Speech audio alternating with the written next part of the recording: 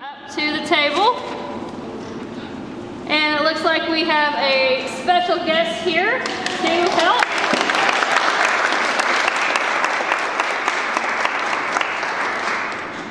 Colonel Hague, I present the Launch Learning Fellows. Hello, everyone. You probably already have heard me talk enough. So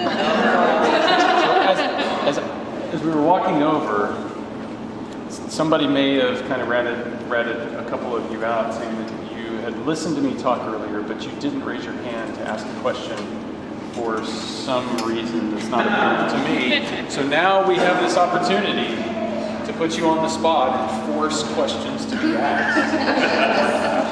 I, I feel like the tables have been turned. Okay, so I'm going to start with that table has to produce a question. Uh-oh, no pressure. Okay, number three. Way to be a good teammate there. yes, ma'am. Uh, I would like to hear more about your sleeping. I mean, you said you didn't use a sleeping bag, you went a little quarter, it was like hanging out, floating, did you bad room? Yeah, so, so soft balls, not padded balls. Uh, so, but it, it's super comfortable. So the, the environment out there is, is short sleeve shirts and socks, and so it's 70 degrees and the humidity is comfortable, and it's very easy to, to just live, right? So turn out the light and sleep. And it's the best sleep that I've ever had. After the two weeks of back pain, at that point, then when I fell asleep, I'd just fall asleep in a position. There's no rolling over in the middle of the night. There's no, oh, my, my legs fell asleep, my arm fell asleep, or just you, you fall asleep in whatever position your body wants to be in, it's in. And you just float inside, but everything's moving kind of together. So even if you bump off the side, it's just such a gentle bump, you don't even, even notice it. And so I sleep like maybe eight hours a night. That's what I was imagining, stuff that, that's awesome. Yes. On that, if if you use a blanket, is that like possible to? So I would, so I would use the sleeping bag that they have. I'd zip it up, but it wouldn't be secured down to anything. So I would just kind of float in. But then that gave me the sensation of you know something kind of around me. And when I closed my eyes, it felt like I was at home, just covered up in, in blankets. Um, I don't know if anybody sleeps with they got the heavy blankets. Yeah, so it, it feels just it feels just like we got a heavy blanket. Just like that, the pressure's even all over your body. So yeah, pretty cool. Sir. I noticed, um, in, it's either the video or pictures, union crewmates were running around dragging with wearing masks. Is that standard uh, protocol, or is that a COVID pandemic? No, standard protocol. So COVID has changed uh, very little about how space flight operates. We were doing COVID before, or uh, quarantine before anybody really knew what quarantine was. Two weeks prior to launch, you went into quarantine, you limited who you can have contact with, everybody was taking temperatures. That stuff is just the same as it's always been. The masks on orbit are for the environment that's coming up. So you send up a, a, a cargo vehicle. There's all kinds of stuff in there. You don't necessarily know how it survived coming uphill. And when you open that up, you want to make sure that you're not going to breathe in particulate. Stuff goes everywhere. So any- if you could be eating, you could be eating a bag of chips and it goes everywhere. The problem with that is you're breathing and you start inhaling things that weren't meant to be inhaled. There's different environments, different different things you don't want to be exposed to up there. So you end up wearing protective gear a lot. Uh, masks, glasses, to keep stuff out of your eyes. And usually when you're unloading a vehicle, it's only for the first little while, and then everybody says the atmosphere has been circulated enough, we're comfortable with it. So, but you don't realize how we got fans in here, but gravity helps mix the air, and you don't think about it necessarily, but you're creating body heat. When body heat heats the air, your hot air rises because gravity's pulling cold air down, it's more dense. On orbit, that doesn't happen. So unless you have fans going, the air doesn't move. So if I stand here and I talk to you for an hour and I do nothing, on orbit, I've got a ball of carbon dioxide so slowly suffocating that I've created myself. So circulation is super important. Uh, it, it happened once or twice while I'm sleeping in that sleeping bag. There's a hood that goes over it. Kind of turn sideways inadvertently in there, and you can give yourself a carbon dioxide headache pretty quick by just inadvertently suffocating yourself. Space is a crazy place. Sir. Uh, this one is to be a three-person craft, but we're We were supporting the couple things. One was the amount of science that the Russians had on their list in, in their estimation support a three-person Russian crew. So they only needed two Russians on board do everything that was on their plate. The second aspect is that frees up the seat to be able to do a seat swap with another student. So we were planning on going uphill as a two-person crew, potentially going down with an extra person. Um, Didn't end up working out. You saw the, you saw that, that swap still happen when I launched with Christina and then I landed with Hazza. That allowed Christina to extend to do an extra, you know, two missions and then come down and follow next week. So it, there's a little bit of juggling. You need two people to operate the Soyuz. They've actually, since I've flown, come up with another hand controller that they're using in the Soyuz so that they can fly with just one Russian uh, commander and then have two, essentially two persons come along. And they did that. Right? They, they sent up a film crew where they had the leading actress and the producer fly out there to spend time and come back down to a different commander. Yes, we moved tables. Uh, At one point, your talking, you said one of the things they sent up to you was, um, how is your sense of smell affected in space? So I don't know if it's, I don't know the cause, but fluid shift is definitely a real thing. and I think it's a contributing factor. I spent a good chunk of my time up there feeling like I had a slight hiccup. Your heart underground, right now, it's fighting, my heart's fighting gravity, trying to keep the blood in my head and keep it out of my feet. When I go up on orbit, it's still, it's spent its whole life doing that, so it kind of keeps doing that. So you get higher pressure in your head than you used to. And that leads to a sense of fullness. So a lot of times you'll see that as puffy faces when you're seeing people that are on orbit, especially for the first couple weeks that you're up there, it's really puffy. Um,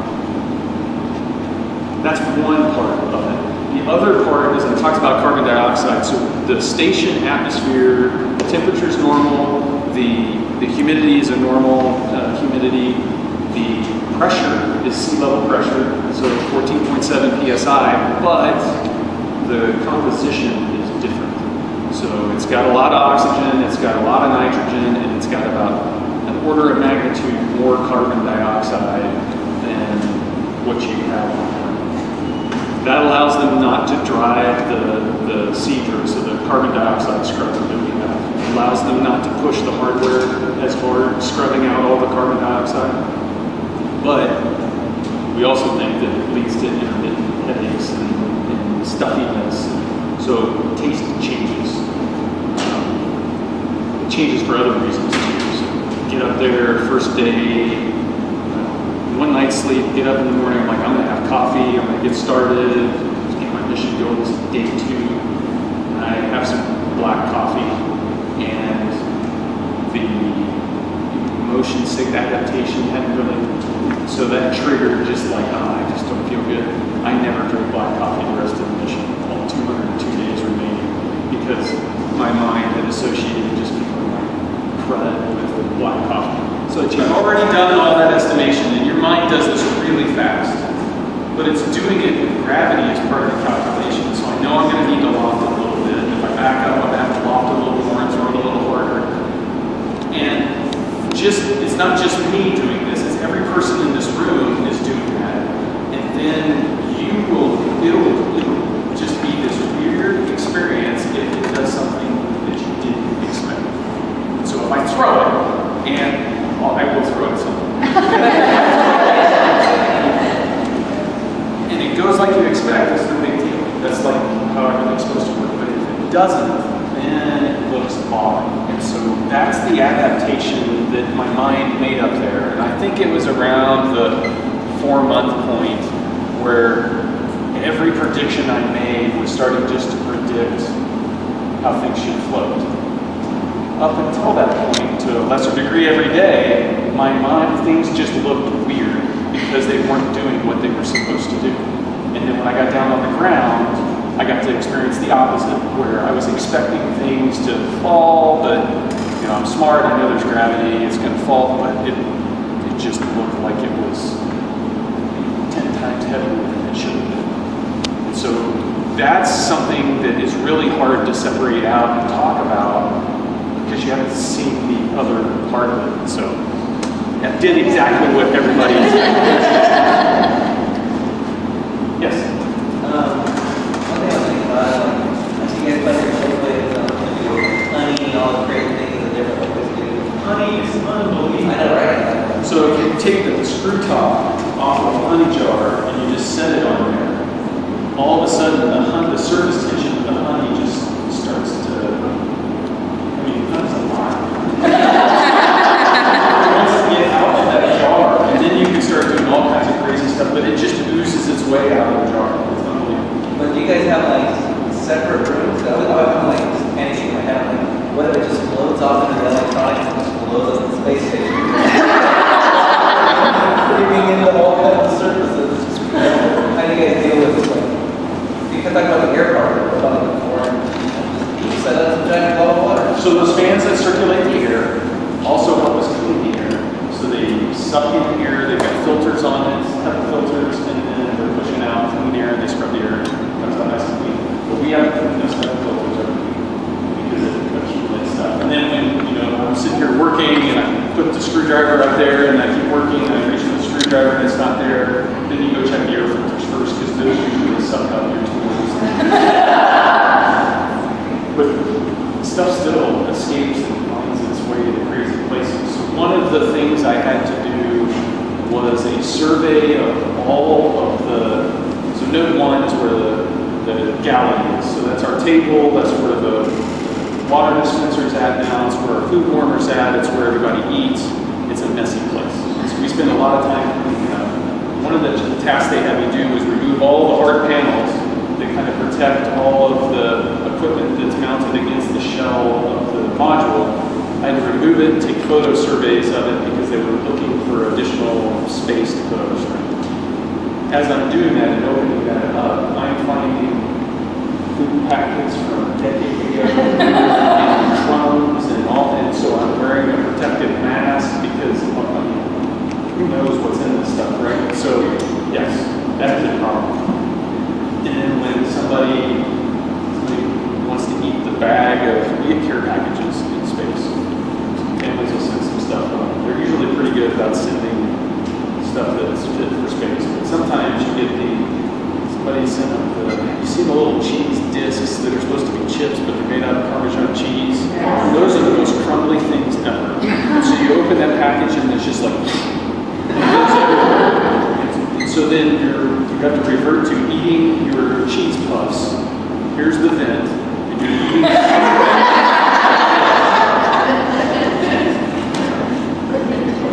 Yes. Okay, so you're cleaning, and you don't exactly have like a dustpan, and broom, and dump it in the trash can. So what do you do with the, the trash?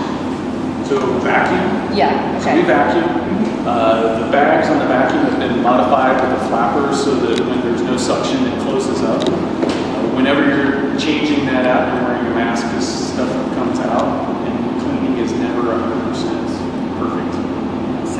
But, it's it's a lot of vacuum, which you can actually ride a vacuum cleaner. There's enough propulsion. There's enough propulsion out the back end. that You put the vacuum cleaner between your legs and, and just zip along. Yes. Were you planning on being an astronaut when you're at the academy, or was that what your degree led you into, or how did you make that transition from academy to that? So there's there's the childhood dream part, and there's the professional ambition part. The childhood dream was, since I was this tall. The professional ambition, I, so in high school, I liked physics, I liked figuring things out, I, I enjoyed math. When I got to college, I realized I enjoyed the, the stuff where I got to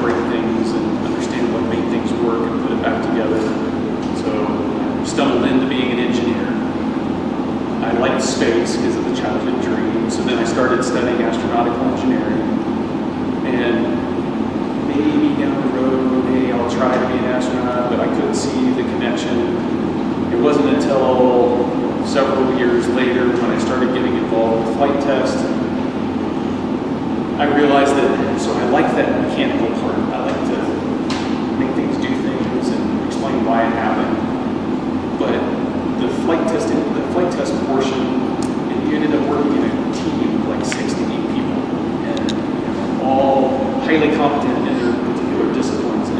go out and you manage a project and do something really complicated, really risky, and you all depend on each other. And in the height of executing some kind of high-risk test where we're throwing a jet out of control and trying to recover it, I found I started to lose my sense of self and just identified as the team and being part of that. And I was so excited. And then I looked at what NASA does.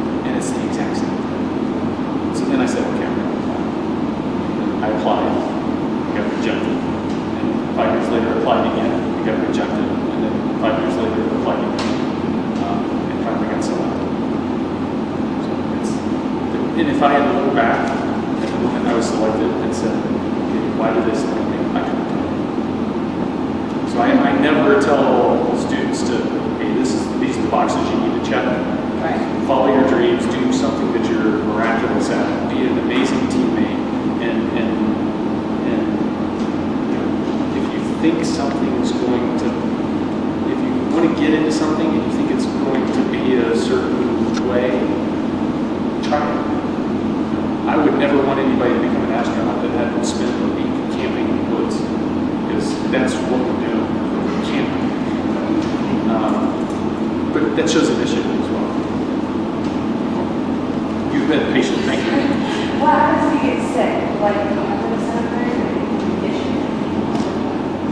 Yeah, so if we get sick, there is a pharmacy up there. There's a team of light docs on the ground. They uh, can prescribe stuff. We just hop on the radio. We can do a video conference. We can take photos. You get a rash, I'll take a photo. I'll send it down. We'll outsource it to some you know, national now, so and so, and let you know if you're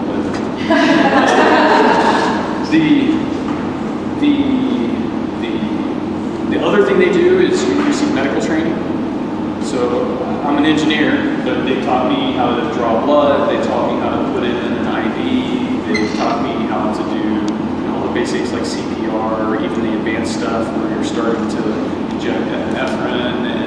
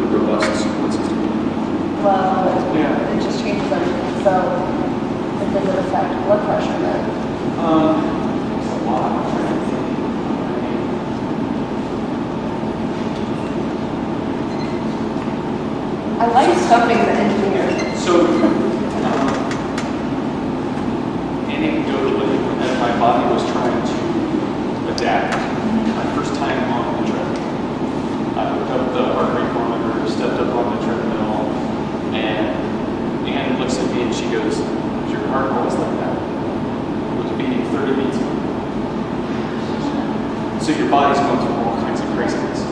But your average blood pressure right now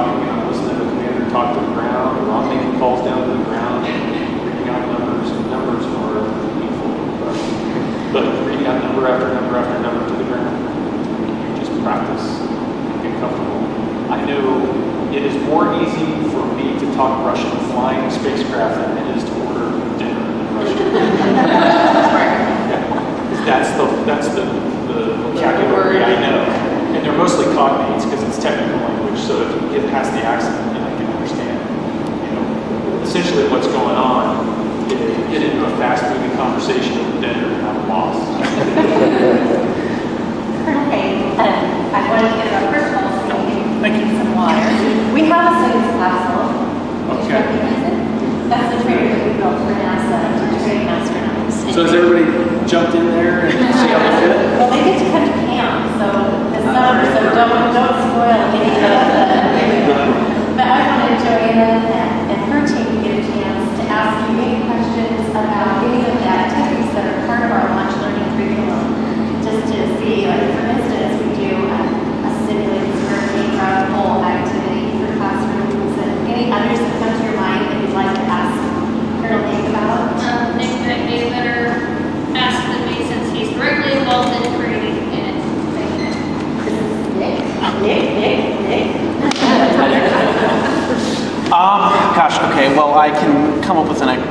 Anthony in a second. I did actually have a broader question, though, regarding education.